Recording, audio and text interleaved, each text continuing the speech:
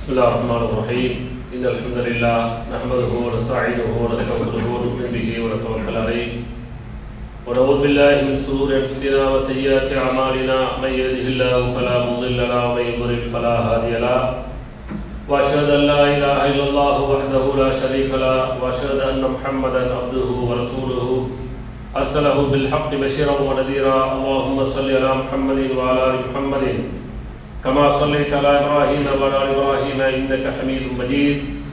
اللهم بارك على محمد وعلى ال محمد كما باركت على ابراهيم وعلى ال ابراهيم انك حميد مجيد. اما بعد فان خير الحديث كتاب الله وخير الهدي هدي محمد صلى الله عليه وسلم.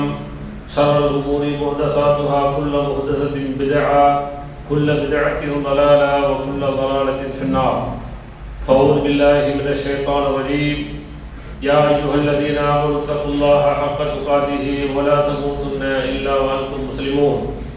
وقال أيضا يا أيها الناس اتقوا ربكم الذي خلقكم من نفس واحدة وخلق منها زوجها وبث منهما رجالا كثيرا ونساء. واتقوا الله الذي تساءلون به والأرحام. إن الله كان عليكم رقيبا. وقال أيضا يا أيها الذين آمنوا اتقوا الله وقولوا قولا سديدا يصلح لكم اعمالكم ويغفر لكم ذنوبكم ومن يطع الله ورسوله فقد فاز فوزا عظيما அன்பிற்குரிய எல்லாம் வல்ல அல்லாஹின் நல்லடியார்களே அல்லாஹ்வுடைய மாபெரும் கருணையினால் எல்லாம் வல்ல அல்லாஹ் அவனால் ஒப்புக்கொள்ளப்பட்ட உயர்வான மார்க்கத்தில் நம்மை எல்லாம் ஆக்கி அதில் குறிப்பாக ஜும்மாவுடைய கடமையை அல்லாஹ் அல்லாவுடைய தூதர் முகமது சல்லாஹ் அலைஹி வசல்லம் அவர்கள் எப்படி நடைமுறைப்படுத்த சொன்னார்களோ அப்படி நடைமுறைப்படுத்துவதற்காக வேண்டி நாம் எல்லாம் இங்கே கூடியிருக்கின்றோம். இந்த சந்தர்ப்பத்திலும் இன்னும் பிற சந்தர்ப்பங்களில் இஸ்லாமிய மார்க்க விளக்கத்தை பெறக்கூடிய நாம் பெருமடுவதோடு நின்று விடாமல் நிறுத்தி விடாமல் செயல்படுத்தக்கூடிய மக்களாகவும் செயல்படுத்தாத பிற மக்களை செயல்படுத்த தூண்ட வேண்டும் என்ற கோரிக்கையோடு இந்த ஜும்மாவுரை துவங்குகிறேன். இன்றைக்கு வழங்கப்பட்டுள்ள தலைப்பு அலா துஹிப்பூன ஐயஃபிரல்லாஹ் லக்கும் என்ற குரானுடைய வசனத்தின் ஒரு சின்ன தொகுப்பு இது. அதில் அல்லாஹ் என்ன கேட்கிறான் என்று சொன்னார் அல்லாஹ் உங்களுக்கு மன்னிப்பு கொடுப்பதை நீங்கள் விரும்ப மாட்டீர்களா? என்ற வினாவை அல்லாஹ் கொடுத்து யாரை முன்னிலைப்படுத்தி அல்லாஹ் இந்த கேள்வியை கொடுத்தானோ அந்த கேள்விக்குரிய நபர் அல்லாவிற்காக வேண்டி தான் செய்த அந்த தவறை உணர்ந்து மன்னித்து விட்ட செய்தியை சூரத்து நூறு என்ற அத்தியாயத்தில் இருபத்தி இரண்டாவது வருஷமாக அல்லாஹ் பதிவு செய்திருக்கிறான். எனவே அந்த மன்னிப்பு எவ்வளவு பெரிய முக்கியத்துவம் வாய்ந்தது? மன்னிப்பை பொறுத்தவரை அல்லாஹ் எப்படியெல்லாம் விரும்புகிறான்? அடியார்களை எப்பட எப்படி விரும்ப சொல்கிறான் என்பதை எல்லாம் நிறைய விஷயங்கள் தெரிந்து வைத்திருந்தாலும் அந்த மன்னிப்போம் மறப்போம் என்ற குணாதிசயங்களுக்கு அப்பாற்பட்ட சமூகமாக இஸ்லாமிய சமூகம் வாழ்ந்து கொண்டிருக்கிறது. மன்னிக்கக்கூடிய அந்த குணாதிசயங்களை அவர்கள் உள்வாங்கியவர்களாக செயல்படுத்தக்கூடியவர்களாக இஸ்லாமியர்கள் இருக்க வேண்டும் என்று சொல்லி அல்லாவும் சரி அல்லாவுடைய தூதரும் விரும்புகிறார்கள். அதனால அல்லாஹ் தன்னை பல்வேறு பண்பு பெயர்கள் சொல்லி அழைக்கின்ற பொழுது அழைக்க வேண்டும் என்று விரும்புகின்ற பொழுது என்று அழைப்பதை அல்லாஹ் விரும்புகிறான். அல்லாஹ் மன்னிப்பவன் அதே போல ஹஃபார் என்று சொன்னால் மிக மன்னிப்பவன். சாதாரண மன்னிப்பு மாத்திரமல்ல அதிகமாக மன்னிக்கக்கூடியவனாக அல்லாஹ் இருக்கிறான். அதனால் திருமுறை குரானிலே பார்க்கலாம் இரண்டு முறையாக அல்லாஹ் சொல்கிறான் வல்லாஹு கஃபூர் ரஹீம். அல்லாஹ் மன்னிப்பவனாக இருக்கிறான் அருள்புரிவனாக இருக்கிறான். அதே சமயத்தில் இன்னொரு இடத்திலே சொல்லுகின்ற பொழுது இன்னல்லாக கஃபூர் ரஹீம். நிச்சயமாக என்று சத்தியமிட்டு அல்லாஹ் சொல்கிறான்.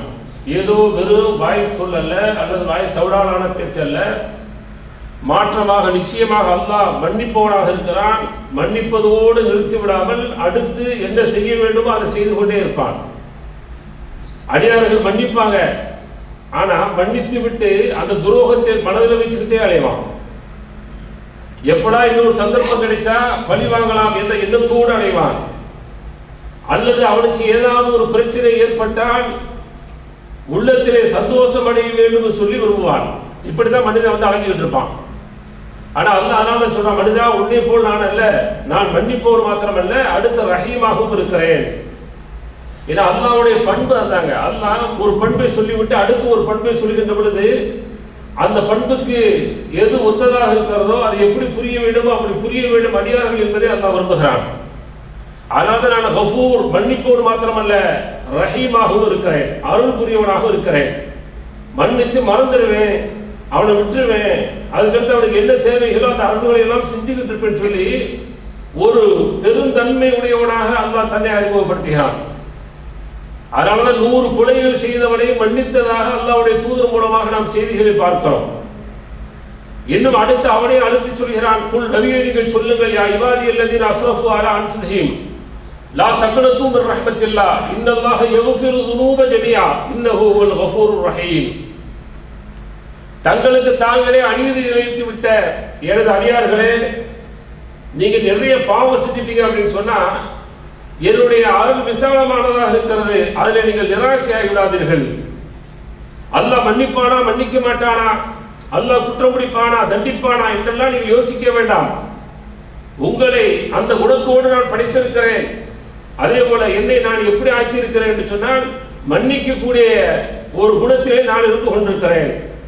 அதாவது அடிச்சு சொல்றான் இன்னல்லாக நிச்சயமாக அல்ல எவ்வளவு ذுனூப ஜெனியா யக்ஃபிரு துனூப் என்று சொல்லி முடித்தால் போதும். பாவங்களை எல்லாம் மன்னிக்கக்கூடியவன் என்று சொல்லி. ஆனால் ஜமியா அப்படிங்கிற எல்லா பாவங்களையும் எது செய்தாலும் சரி எவ்வளவு பெரிய பிழைகள் எவ்வளவு பெரிய குற்றங்கள் செய்தாலும் சரி அதை எல்லாம் அல்ல மன்னிக்கக்கூடியவனாக இருக்கிறான். இன்னஹு ஹுவல் கஃபூருர் ரஹீம். அவன் மன்னிப்பவன் மாத்திரமல்ல அருள் புரிவனாக இருக்கிறான் என்று சொல்லி தன்னை அல்ல அறிமுகப்படுத்துகிறான். இப்படி பல்வேறு விஷயங்களை பல்வேறு செய்திகளை தான் மன்னிப்பை கடமையாக்கி கொண்டு அறியாதவர்கள் செய்யக்கூடிய குற்றங்களை எல்லாம் இந்த உலகத்தில் மன்னிக்கிறான் எதுவரை என்று சொன்னால் தொண்டைக்குழியை அவனுடைய உயிர் பிரிகின்ற அந்த தருணம் வரை மரணம் வருகின்ற வரை அவன் கேட்கக்கூடிய அத்துணை செயல்களுக்கும் அல்ல மன்னிக்கிறான். மரணத்தை உணர்ந்து விட்டால் மரணத்தை அடைய போகக்கூடிய சூழல் ஏற்பட்டு விட்டால் மரணம் அவருடைய தொண்டைக்குழியை அடைகின்ற பொழுது கேட்கக்கூடிய பிரார்த்தனைக்கு அங்கீகாரம் இல்லை என்று அல்லாஹ் சொல்லக்கூடிய செய்தியை பார்க்கிறோம். எனவே அப்படிப்பட்ட அல்லாஹ் தான் நம்மை பார்த்து கேட்கிறான். அலா துஹிப்பூன ஐ யக்ஃபிருல்லாஹு லக்கும் அல்லாஹ் உங்களை மன்னிப்பதை நீங்கள் விரும்ப மாட்டீர்களா என்று அல்லாஹ் கேட்கிறான். ஏன் இதை கேட்கிறான்? எதற்காக கேட்டால் இது ஒரு வரலாற்று செய்தி அது. நபிகள் நாயகம் ஸல்லல்லாஹு அலைஹி மனைவி ஆயிஷா ரலியல்லாஹு தஆலா அவர்களுக்கு ஏற்பட்ட பிரச்சனை நமக்கு எல்லாம் தெரியும். சுருக்கமாக நாம் புரிஞ்சிருவோம். அப்ப அவங்க மீது மிகப்பெரிய ஒரு பிரம்மாண்டமான இட்டுக்கட்ட செய்திகள் பரவ விட்டது. எந்த அளவுக்கு என்று சொன்னால் அல்லாவுடைய தூதர் அவர்கள் அவர்களை ஒதுக்கி வைக்கக்கூடிய அளவிற்கு பல நாட்கள் கிட்டத்தட்ட ஐம்பது நாட்கள் என்று சொல்லப்படக்கூடிய அளவிற்கு ஒதுக்கி வைக்கக்கூடிய ஒரு சூழல் ஏற்பட்டு விட்டது. அப்ப என்ன நடக்கிறது? இவர்கள் ஒரு பெரிய குற்றத்தை செய்து விட்டார்கள். ஆனால் செய்யல. ஆனால் செய்தது போல ஊர் முழுக்க பரவுகிறது. அவர்களுடைய கணவர் ரசூலுல்லாய் ஸல்லல்லாஹு அலைஹி அவங்களும் என்ன செய்யறாங்க வேறு வழி இல்லை. அவர்களும் ஒதுக்கி வைக்கிறாங்க. அவர்களுடைய குடும்பத்தாருக்கும் இந்த செய்தி போகுது. இன்னும் பலர்கள் அந்த செய்திகளை பற்றி பேசுறாங்க. அப்படி பேசக்கூடிய நபர்களில் ஒருவர் தான் மிஸ்டர் ரலி அல்லாஹு தாலானு அவர்களும் பேசுறாங்க. ஆயிஷா ரலி அல்லா தாலா பேசியிருக்கலாம். இது மாதிரி ஏதாவது செஞ்சிருக்கலாம் அப்படிங்கிற மாதிரி இந்த அவதூரை அவர்களும் பேசுகிற செய்தி கேட்கின்ற பொழுது ஒரு தகப்பனுக்கு என்ன செய்ய முடியாது தாய் கொள்ள முடியாது தானே? அப்ப அந்த தகப்பன் என்ன செய்ய முடியுமோ அந்த நேரத்தில் அதை செய்யறாங்க என்ன செஞ்சாங்க? மிஸ்டர் ரலி அல்லா தாலா அவங்களுக்கு வந்து உதவி செஞ்சுட்டு இருக்காங்க பொருளாதார உதவி செஞ்சுக்கிட்டு இருந்தாங்க அப்ப மிஸ்டர் நான் கொடுக்கக்கூடிய அந்த பொருளாதாரத்தை வாங்கி சாப்பிடக்கூடிய அவர்கள் இந்த அளவு என்னுடைய மகளை அவதூறு செய்யக்கூடிய இந்த சொல்லை இந்த செயலை அவரும் சேர்த்து செய்கிறாரே. எனவே இனிமேல் அவருக்கு நான் எந்த விதமான உதவியும் செய்ய மாட்டேன் என்று சத்தியம் செய்கிறார். கருணையாளன் மன்னிப்பாளன் மேலே இருந்து செய்தி அல்லாவுடைய தூதரவர்களுக்கு இறக்குகிறான் வலா எழுத்தலி உளுள் ஃபதுல் மின்கும் பஸ் ஆட்சி உளுள் குர்பா والمساكين والمهاجرين في سبيل الله وليعفوا وليصفحوا ألا تحبون أن يغفر الله لكم والله غفور رحيم சூரத்து நூறுல இருபத்தி ரெண்டாவது செய்தியாக அல்லாஹ் உடனே வசனத்தை இறக்குறான் என்ன இறக்குறான் உங்களில் வசதி படைத்தவர்கள் உங்களில் பொருளாதாரம் உள்ளவர்கள் சத்தியம் செய்ய வேண்டாம் என்ன மாதிரி சத்தியம் சொந்தக்காரர்களுக்கு கொடுக்க மாட்டேன் ஏழைகளுக்கு கொடுக்க மாட்டேன் மிஸ்கின்களுக்கு கொடுக்க மாட்டேன். அதே போல அல்லாவுடைய பாதையில் வந்து ஹிஜ்ரத் செஞ்சாங்களே அவங்களுக்கெல்லாம் தரமாட்டேன் என்று சொல்லி அவர்கள் அப்படி செய்ய வேண்டாம் மாற்றமாக மன்னிக்க வேண்டும் மறக்க வேண்டும். அல்லாஹ் உங்களை மன்னிப்பதை விரும்பவில்லையா என்று கேட்ட உடனேயே பாருங்கள் அந்த சமூகம் எப்படிப்பட்ட சமூகம்? அதுதான் அவங்களுக்கு நமக்குள்ள வேறுபாடு வித்தியாசம். நிறைய சொல்லப்படுது. பொதி சுமந்த கழுதைகள் போல நிறைய விஷயங்களை கேட்கிறோம் தெரிகிறோம். ஆனால் நிறைய அது போல செல்லக்கூடிய பாடம் போயிட்டே இருக்கு. ஆனா அவங்களுக்கு அந்த செய்தி அவங்களுடைய உள்ளத்தை தைக்கின்ற பொழுது அவர்களுடைய உணர்வை தட்டி எழுப்புகின்ற பொழுது அவர்களுடைய உள்ளத்தில் பாய்கின்ற பொழுது உடனே என்ன செய்வாங்கன்னு சொன்னா அதற்கு வடிவம் கொடுத்து விடுவார்கள். உடனே கால அபூபக்கர் சித்தி ரலியல்லாஹு தஆலா சொன்னாங்க பலா வல்லா இன்னி உஹிப்பு ஐ யக்ஃபிர் அல்லாஹ் என்ன மன்னிப்பதை நான் விரும்புறேன். நான் எப்படி விரும்பாம இருப்பேன் மன்னிக்கு உங்களுக்கு வேண்டாமா என்று கேட்பவன் யார்? இந்த உலகத்தை படைத்த பிரம்மாண்டமானவன் ரப்பு கேட்கிறான் வாயால் கேட்கிறான். உங்களுக்கு அல்லாவுடைய மன்னிப்பு வேண்டாமா என்று அவனே கேட்கின்ற பொழுது அந்த மன்னிப்பு வேண்டாம் என்று முதசி யாரா தள்ளுவானா? நீ தள்ளிக்கிட்டு இருக்கிற நிறைய பேர். உதவி தள்ளுவார்களா? எட்டி உதைப்பார்களா? அபுபக்கர் சித்திக் ரலியல்லாஹு தஆலா சொன்னாங்க நான் அல்லாஹ் மன்னிப்பதை விரும்புகிறேன் என்று சொல்லிவிட்டு ஃபரஜா இலா மிஸ்தஹ் அன் கால லத்தி கான யுன்ஃபக் அலைஹி.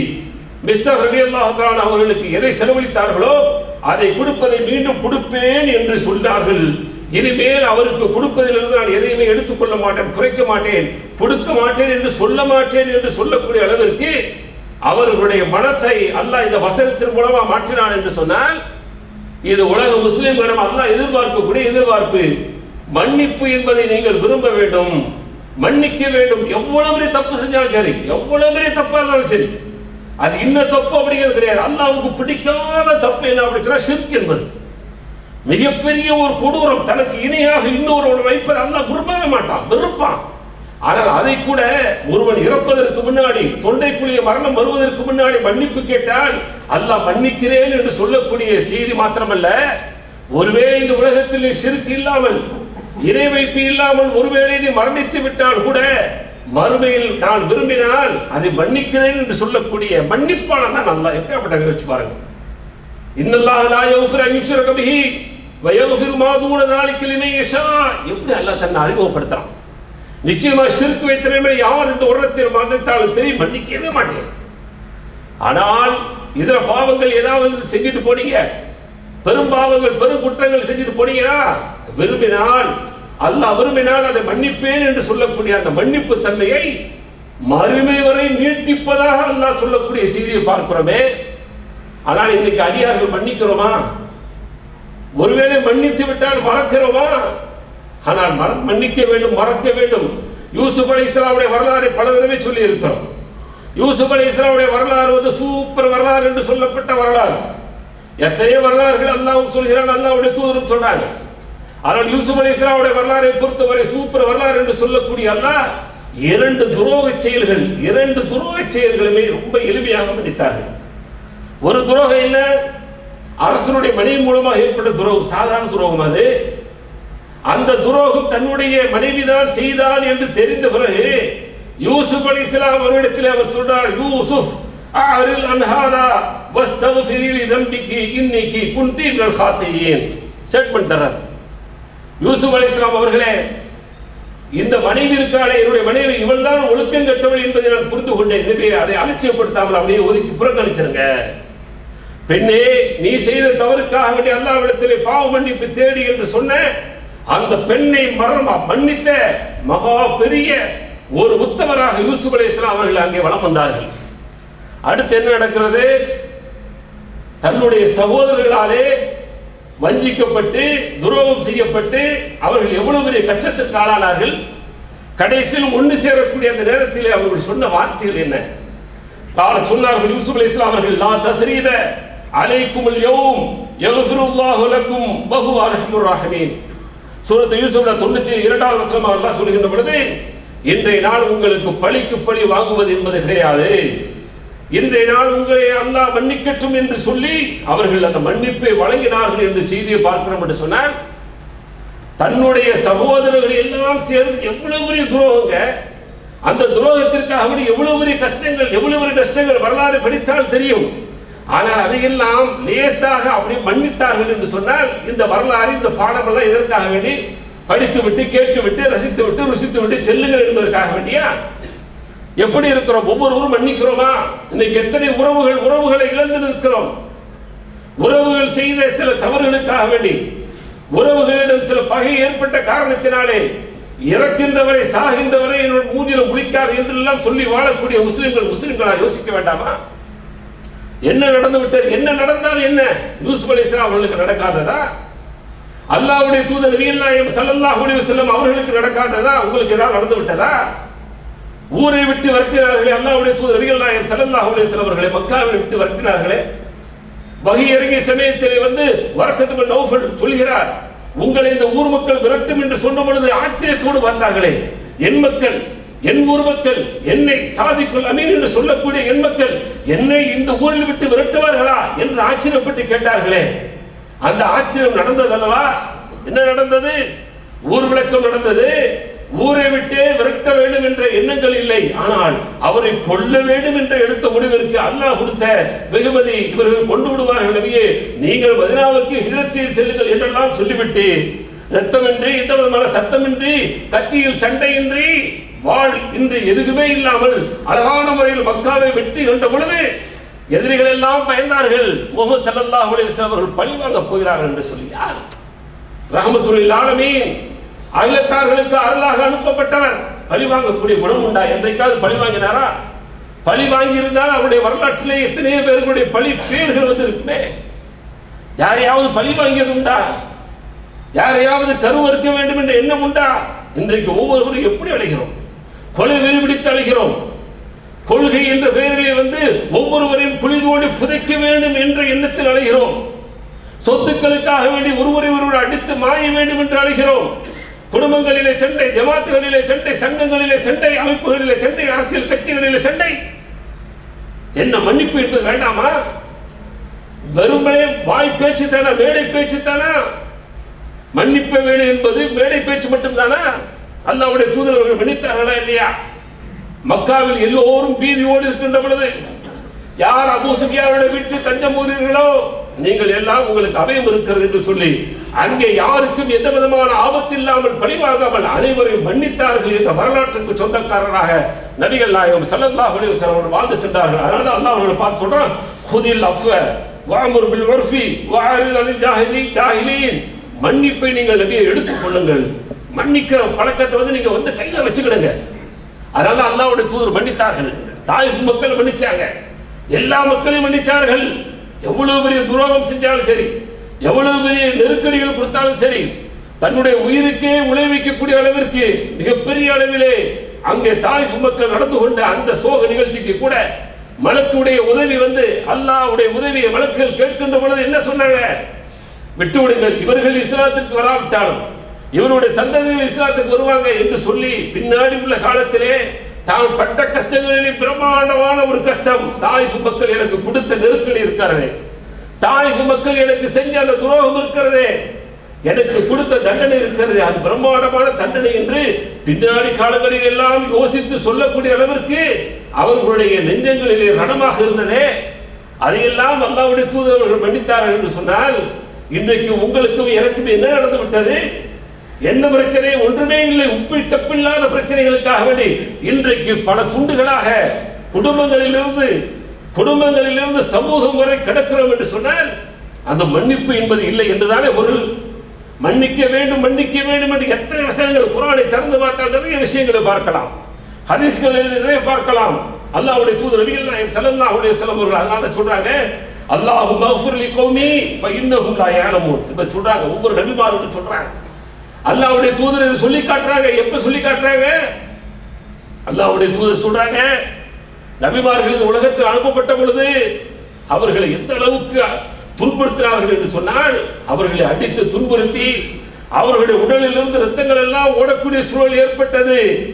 அந்த நேரத்தில் அவர்கள் கேட்டார்கள் யா என்னுடைய இந்த கூட்டத்தாரை மன்னித்து விடு என்று கேட்டார்கள் யா அல்லாஹ் அதே போல நானும் கேட்கிறேன் என்று அல்லாவுடைய தூதர் அவர்கள் இந்த பிரார்த்தனை செய்தார்கள்.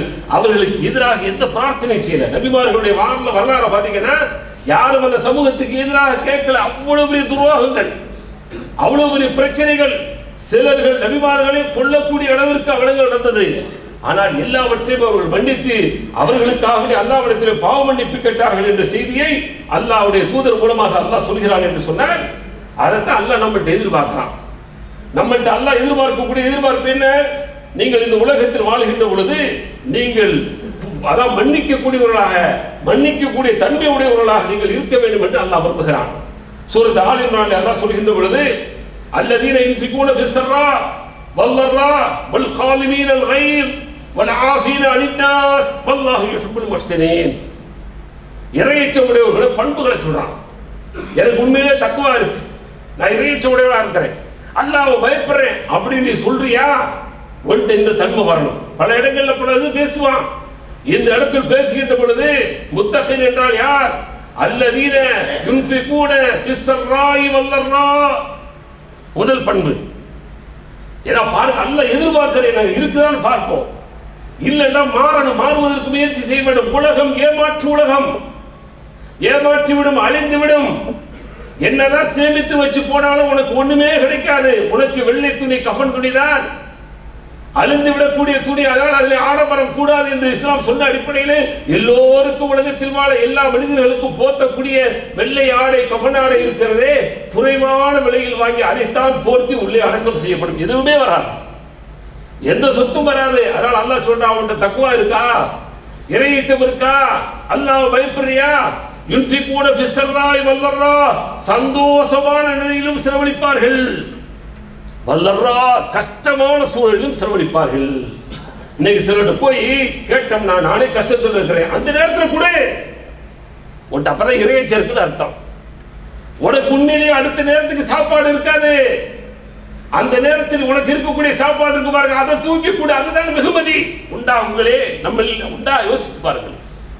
எல்லாம் எதிர்பார்க்கிறாங்க இருக்கும்போது நீ கல்வி கட்டி கொடுக்கறது ஒரு பெரிய மேட்டர் இல்லை. அது என்ன மேட்டர் இருக்குது கொடுக்கிற என்ன பிரச்சனை? அதுல என்ன உனக்கு கஷ்டம்? உனக்கு என்ன நஷ்டம்? ஒண்ணுமே இல்லையே. ஆனால் இல்லை கஷ்டம் எனக்கு இப்பொழுது இல்லை. என்னுடைய குடும்பத்தாருக்கு இல்லை. என்னுடைய குட்டிகளுக்கு இல்லை. கொடுக்கிறீர்களே. அதுதான் வெற்றி. அதுதான் நெகிழ்ந்தது. அல்லாவுடைய தூதர் சொன்னார்கள் இல்லையா? அல்லாவுடைய தூதருடைய சபையிலே வந்து ஒரு ஒரு உணவு இருக்கின்ற பொழுது அல்லாவுடைய தூதர் அனுப்புறாங்க உணவு இல்லை. ஒரு நபித்தோடு கூட்டிட்டு போறாங்க வேகமா இது வீட்டில் நிறைய இருக்கிற மாதிரி. கூட்டிட்டு போய் பார்த்தா குழந்தைகளுக்கு உண்டான உணவு மாத்திரம் நாம் யோசித்து பாருங்கள். என்ன சமூகம்? ஏன் அந்த சமூகத்தில் அவ்வளவு பெரிய மாற்றங்கள் வந்தது? நெகிழ்வூட்டக்கூடிய சம்பவங்கள் ஏராளம் ஏராளம் அல்லாவுடைய வாக்குகளை மேம்படுத்தும் விதமாக வாழ்ந்தார்கள். கூட்டிட்டு போய் கேட்டால் குழந்தைக்கு உண்டான உணவு அல்லாவுடைய தூதருடைய விருந்தினர் வந்து விட்டார் என்ன செய்ய வேண்டும்? குழந்தைகளை ஏமாற்றி தூங்க வைக்காம ரெண்டு பேரும் எவ்வளவு பெரிய சமரசம் நடக்கிறது உண்டுவா இப்படியாப்பட்ட குடும்பங்கள் உண்டா? யோசிக்க வேண்டும். இருந்தால் அருளுக்குரியவர்கள் என்ன நடக்கும் என்ன நடந்திருக்கும் இன்றைக்கு அப்படி இருந்தால்? குழந்தைக்கே உணவு இல்லை. குழந்தைக்கு மாத்திரம் தான் உணவு இருக்கு. இவர் வந்து விருந்தாளியை கூட்டி விட்டார் என்று சொல்லி எவ்வளவு பெரிய ஏச்சுக்கள் நடக்கும்? ஆனால் அழகான ஒரு திட்டம் அல்லாவுடைய தூதரால் அனுப்பப்பட்ட விருந்தினர் வந்து இருக்கிறார். அல்லாவுடைய விருந்தாளி வந்திருக்கிறார். எனவே அவருக்கு இந்த உணவை கொடுப்போம் என்று சொல்லி எவ்வளவு பெரிய சமரசம் எவ்வளவு பெரிய சமாதானம் இரண்டு பேரும் அடைகிறாங்க. தொடர்ந்து அழகா ஏமாட்டு தூங்க வச்சிருவோம். வந்தவருக்கு உணவு கொடுப்போம். நீங்கள் சேர்ந்து சாப்பிடணும். அந்த சாப்பாடு இல்ல. நான் விளக்க சரி செய்யற மாதிரி அணைச்சு விட்டுறேன்.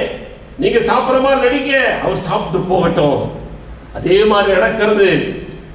அல்லாவுடைய தூதருக்கு அல்லாஹ் அறிவிக்கிறார் மறுநாள் காலையில் அல்லாவுக்கு சந்தோஷம் அளித்த அல்லது ஆச்சரியப்பட்டான் அல்லாஹ் இந்த இரண்டு பேர்கள் செய்த செயலின் காரணமாக என்று அல்லாவுடைய தூதர் சொல்லி காட்டினார்களே.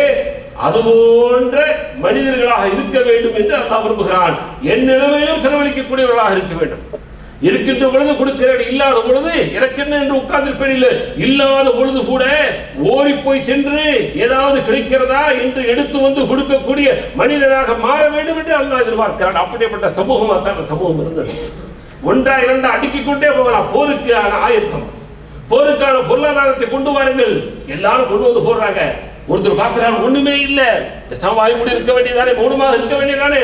ஓடுகிறார் உழைக்கிறார் உழைக்கிறார் உழைத்து விட்டு இரண்டு கை நிறைய பேரித்தவளும் கூலியாக வாக்குகிறார் பாருங்கள் இவ்வளவு பெரிய ஈமான். ஏன் அவர்கள் சொர்க்கத்துக்குரியவராக ஏன் மாற முடிந்தது? இந்த இரையற்ற உள்ளத்தில் இரத்தத்தோடு கலந்து குடிகொண்ட காரணத்தினால்.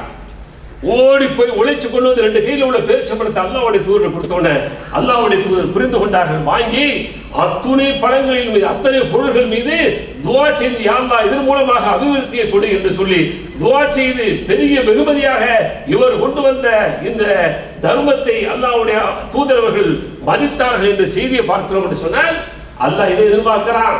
அடுத்து என்ன இதெல்லாம் இருந்தா தான் வல்காலிமீனல் கையில் கோபத்தை அப்படி மெண்டு முழுங்கிறாங்க எப்படி வந்து போன உடனே பீஸ்லாம் கிடைச்சி சொன்னா இறைச்சி பீஸ்களை மெண்டு எப்படி உள்ள முழு முழுங்கிடுவோமோ அதே மாதிரி கோபம் எரிச்சல் எது ஊட்டினாலும் சரி மெண்டு அப்படி முழுங்கி அந்த முழுங்குற மாட்டேக்கு முழுங்கக்கூடிய பக்குவம் இருக்கா?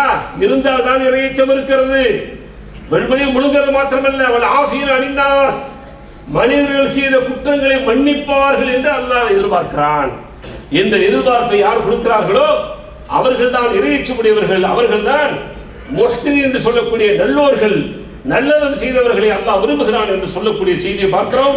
அதே போல அல்லாவுடைய தூது நபிகள் நாயகம் ஸல்லல்லாஹு அலிஸ்லாம் அவர்கள் எந்த அளவுக்கு சொல்றாங்கன்னு சொன்னா மறுமையில யார் இந்த உலகத்தில் கோபம் ஊட்டி அந்த கோபம் ஊட்டக்கூடிய அந்த செயல் நடந்து அதற்கு எதிராக செய்யக்கூடிய சக்தி இருந்து அதை மென்று விழுங்கி அதை அடக்கிக் கொள்கிறாரோ அவரை மறுமையிலே அல்லா உயர்ந்த அந்த அந்தஸ்திலே அவரை எழுப்புகிறான். படைப்புகளிலே மேலான படைப்புகளில் அவனை எழுப்பி அவன் விரும்பிய ஊருள் ஈங்களை நீங்கள் எடுத்துக் கொள்ளுங்கள் என்று அல்லாஹ் சொல்வதாக நபிகள் நாயகம் ஸல்லல்லாஹு அலுவலர் சொல்லக்கூடிய செய்தி திருமதியில் இருந்ததுன்னு சொன்னால் இந்த வெகுமதி எனக்கு வேண்டும் என்று சொன்னால் மறுமையில் எனக்கு கிடைக்க வேண்டும் என்று சொன்னால் மன்னிக்கக்கூடிய தன்மை வேண்டும் மறக்கக்கூடிய தன்மை வேண்டும். ரெண்டுமே வேண்டும். மன்னிப்பேன் என்று முதல் தலைவர் சொல்லிவிட்டல்ல மனதளவில் மறக்கக்கூடிய அந்த பண்பையும் ஏற்க வேண்டும் என்று அல்லாஹ் விரும்புகிறான். அதையே அவர்கள் செயல்படுத்தி காட்டினார்கள் என்ற பாடத்தை படிக்கிறோம். அப்படிப்பட்ட வாய்ப்புகள் சந்தர்ப்பங்கள் மன்னிக்கக்கூடிய அந்த நேரங்கள் வருகின்ற பொழுது சர்வசாதாரணமாக யதார்த்தமாக அல்லாஹ் விரும்புகிற அடிப்படையிலே அல்லாவுடைய தூதர் விரும்புகிற அடிப்படையிலே அந்த மன்னிப்பை கொடுத்தால் வெற்றி இருக்கிறது. அல்லாவும் நம்முடைய பாவங்களை மன்னித்து மறுமையிலே சுருக்கத்தை கொடுப்பார் என்று புரிந்து வாழ்வோம். எல்லாம் அந்த அல்லாஹ் அப்படிப்பட்ட மன்னிக்கும் குணம் கொண்டவர்களாக உலக முஸ்லிம்கள் அனைவரையும் வாழ வைக்க வேண்டும் என்ற பிரார்த்தனையோடு முதல் உரையை நிறைவு செய்கிறேன். வாகத்தாவானா அல்ஹம்துலில்லாஹி ரப்பில் ஆலமின்.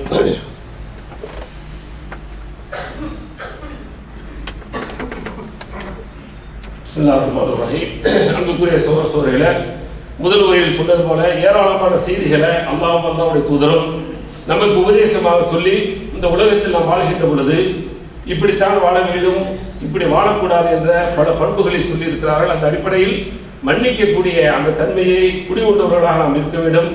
அதே போல நாம் என்ன பாவங்கள் செய்தோமோ அதற்கான பிழை பொறுக்க தேடக்கூடிய பாவ மன்னிப்பு தேடக்கூடியவர்களாக நாம் எல்லாம் இருக்க வேண்டும் என்று சொல்லி அல்லாஹ் விரும்புகிறான்.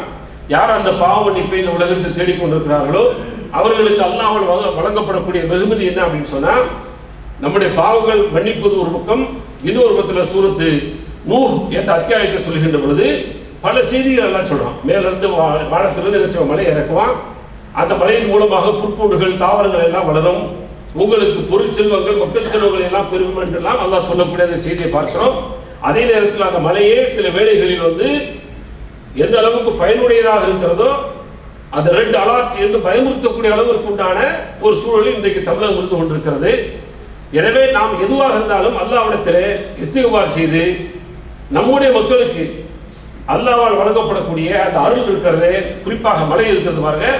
அந்த மழையை தேவையான அளவிற்கு எந்த விதமான பாதிப்பு இல்லாமல் இறக்க வேண்டும் என்று சொல்லி அல்லாவிடத்தில் முறையிட வேண்டும். அல்லாவிடத்தில் மன்றாட வேண்டும். அதை விட்டுவிட்டு அலாட் என்ற பேரில் ஈமானை இழக்கக்கூடிய பல்வேறு காரியங்கள் செய்யக்கூடிய சூழல் நம்ம பார்க்கலாம். ஃபேஸ்புக்ல சரி வாட்ஸ்அப்ல சரி ரெண்டு அலாட் என்ற பேரில் வந்து பல்வேறு ஈமான் இழப்பக்கூடிய செய்திகளை நம்ம பார்க்கலாம். அந்த மாதிரி ஒரு முஸ்லீம்கள் செய்யக்கூடாது மாற்றமாக அலாட்டாக இருக்க வேண்டும். யாரிடத்தில் இருக்க வேண்டும் என்று அந்த அல்லா இடத்துல வந்து என்ன செய்யணும் கோரிக்கை வைக்கணும். அல்லா எங்களுடைய அந்த சமூகத்துக்கு குறிப்பாக தமிழக மக்களுக்கோ அல்லது கேரளா மக்களுக்கோ அல்லது இந்திய மக்களுக்கு இருக்கக்கூடிய அந்த மழையை இப்போ அங்கதான் பிரச்சனையாக இருக்கு. அப்போ அந்த மக்களுக்கு இருக்கக்கூடிய மழையின் மூலமாக நல்ல பலனை கொடு. எந்த விதமான பாதிப்பை ஏற்படுத்தி விடாதே எங்கெல்லாம் அதிகமாக தேவைகள் இருக்கிறதோ அங்கெல்லாம் இறக்கி அந்த தேவைகளை பூர்த்தி செய்ய என்று சொல்லி ஒரு அழகான ஒரு பிரார்த்தனை செய்ய கடமைப்படுங்க ஆனால் அதை யாருமே போடல. நீ நாலு ஃபோன் வச்சிருந்தா ஒரு ஃபோனை மட்டும் நியூஸில் போய் மூணு ஃபோனை வந்து வச்சுக்க. அந்த மூணு ஃபோனு வந்து தூக்கிட்டு போயிடுச்சு வச்சுக்க என்ன செய்ய முடியாது ஏன்னா அல்லாவுடைய அந்த சக்தி இருக்கு பாருங்க வந்துச்சுன்னா எப்படி வரும்னு தெரியாது. ஏன்னா நீ பார்க்குற சுனாமி என்ற பேரில் என்னென்னமோ போட்டுக்கிட்டு இருக்கிறாங்க. சமீபத்தில் நடந்த வந்து சுனாமி எல்லாம் வந்து வீடியோக்கள் வந்துகிட்டு இருக்கு. அது எதிர்பார்க்க இங்கே வராது நினைக்கிறோம் இங்கே வந்துடும் எங்கட வராதுன்னு நினைக்கிறோமோ அங்கே வந்துடும் அதே மாதிரி எத்தனையோ தடவை வந்து வானிலை ஆய்வு மையம் சொல்லும் பொய்ப்பிச்சு போயிடும். பல தடவைகள் பொய்ப்பித்ததான் வரலாறு. அப்ப அவங்க எதிர்பார்க்க மாட்டாங்க அல்லாஹ் டபக்குன்னு கொண்டு வந்துருவான். அப்ப யார்கிட்ட வந்து அலாட்டா இருக்கணும்? அல்லாவிடம் அலாட்டா இருந்து அல்லாவிடத்துல கோரிக்கைகள் வைத்து அல்லாவிடத்தில் முறையிட்டு அல்லாவிடத்தில் பாதுகாப்பு தேடி இருக்க வேண்டிய சமூகம் இன்னைக்கு பட்டியல் போட்டு ஏழு பட்டியல் பட்டியல் போட்டு நீங்க ரொட்டி பிஸ்கட் எல்லாம் வாங்கி வச்சிருக்கீங்க என்னமோ வாங்கி வச்சிருக்க ரைட்டு அந்த திங்காத அளவுக்கு வந்துருச்சுன்னு வச்சுக்க என்ன ஆகும்? நிறைய பேர் காசு வைத்தவர்கள் தான் ரோட்ல வந்து நிற்கக்கூடிய சூழல். கேரளால ஒரு காரு என்னுடைய காருக்கு கேரளாவில் உள்ள ரோடே சரியில்லை என்று சொன்னவர்களை ஒரு பெரிய அண்டா சட்டியில் தூக்கிட்டு வந்தது தான் வரலாறு. நிறைய யதார்த்தம் இது. அதனால அல்லாஹ் வந்து என்ன செய்வான்? ஓடத்தை ஒரு நாளைக்கு மேலே ஏற்றுற மாதிரி உள்ள இருக்கிற மாதிரி மேலே ஏற்றிடுவான் இப்படி அல்லாஹ் தான் வந்து என்ன செய்வான்? நீதிகளை மாற்றுவான். அதனால அல்லாஹ்விடத்தில் துவா கேட்போம். சூழ்நிலை வந்து மோசமாக இருப்பதாக எச்சரிக்கைகள் விடப்பட்டிருந்தாலும் அல்லாஹ்விடத்தில் நாம் கேட்கக்கூடிய பிரார்த்தனை மூலமாக நம்முடைய சமுதாயத்திற்கு குறிப்பாக நம்முடைய நாட்டுடைய அந்த மக்களுக்கு பாதுகாப்பு இருக்கிறது. எனவே அந்த பிரார்த்தனையும் இந்த நேரத்தில் அவர்களுக்காக நாம் செய்வோம். பின்னாடி பாதிக்கப்பட்ட பிறகு உதவி செய்வது என்பது ஒருபுறம் இருக்க முன்னாடியே அல்லாவிடத்தில் நம்ம தேவைகளை கோரிக்கைகளை முறையாக வைக்கின்ற பொழுது அல்லாஹ் அந்த மக்களுக்கு பாதுகாப்பு கொடுக்க போதுமானவனாக இருக்கிறான். அப்படியாப்பட்ட உதவியை தேடுவோம். எல்லாம் வல்ல அப்படிப்பட்ட ஒரு வாய்ப்பை இந்த ரெண்டு அலாத் என்பது மூலமாக நம்முடைய சமூகத்திற்கு அல்லாவும் அல்லாவுடைய தூதர் விரும்பிய அடிப்படையிலே நாம் அலாட்டாக இருப்போம். அல்லாவிடத்தில் பிரார்த்தனை செய்வோம். யாரெல்லாம் வரக்கூடிய அந்த மழையின் மூலமாக குறிப்பாக எங்களுடைய அந்த சமூகத்திற்கு தமிழக மக்களுக்கு எந்த விதமான பாதிப்பை ஏற்படுத்தி விடாதே. நல்ல முறையில் அந்த மலைகளுக்கு எங்கெல்லாம் தேவைகள் இருக்கிறதோ எங்கெல்லாம் பிரயோஜனங்கள் இருக்கிறதோ அங்கெல்லாம் இறக்கி அந்த பிரயோஜனத்தை முழுமைப்படுத்தி அல்ல எந்த விதமான வீணான முறையில் அந்த தண்ணியை சென்று விடாமலும் அதே போல பெரும் பாதிப்பு ஏற்படுத்தக்கூடிய வகையில அந்த மழையை ஆக்காமல் நீ இரு என்ற பிரார்த்தனையை எல்லோரும் செய்வோம் நாமும் செய்வோம். எல்லாம் வல்ல அப்படிப்பட்ட ஒரு வாய்ப்பை தர வேண்டும் என்ற பிரார்த்தனையோடு நிறைவு செய்கிறேன். வாஹத்தாவான அலமதுல்லா ரபில் ஆலமீன். அஸ்ஸலாமு அலைக்கும் வபரகாத்துஹு.